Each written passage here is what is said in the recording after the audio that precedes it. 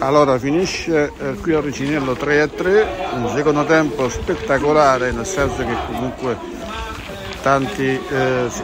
tante situazioni di, di, gioco, tanti gol, tanti errori da parte di entrambe le squadre, quindi finisce 3 a 3, ma eh, si, ehm,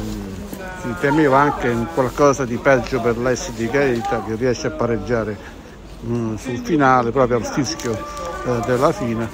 ha aspettato appunto l'arbitro che eh, eh, si, facesse, si andasse in onda con un'ultima azione e ha fischiato, però il gol è arrivato qualche minuto prima, quello che pari. Poi ci sono stati varie azioni da gol da parte di entrambe le formazioni, ma più per il Gaeta nella parte finale del secondo tempo, dopo che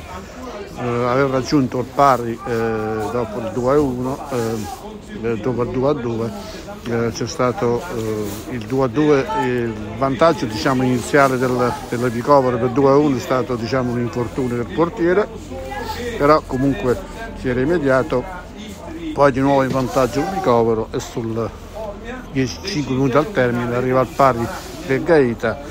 ma poi sul finale ha spinto tantissimo Gaeta per cercare di portare a casa la, la, la vittoria non ci è riuscito perché comunque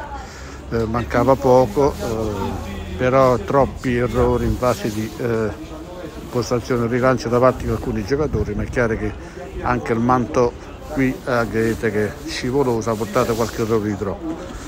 Meglio così, comunque il pari è meglio che una sconfitta casalinga, quindi appuntamento a domenica prossima. E qui il finale eh, Gaeta contro Ricovero 3 a 3.